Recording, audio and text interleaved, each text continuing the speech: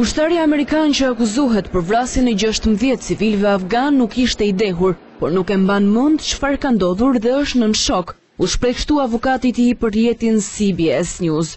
Rrjeti raportoi se rreshteri Robert Bales është takuar me tre avokatët e tij, duke përfshirë dhe avokatin kryesor John Henry Browne, për më shumë se shtatë orë. Oh, they were totally shocked. Um, he's never said anything. Um, Ai ka një memori të hershme të asaj mbrëmje, si dhe ka një kujtesë të mëvonshme të po asaj mbrëmje, por atij nuk i kujtohet momenti i ngjarjes tha Browne në lidhje me natën e vrasjeve.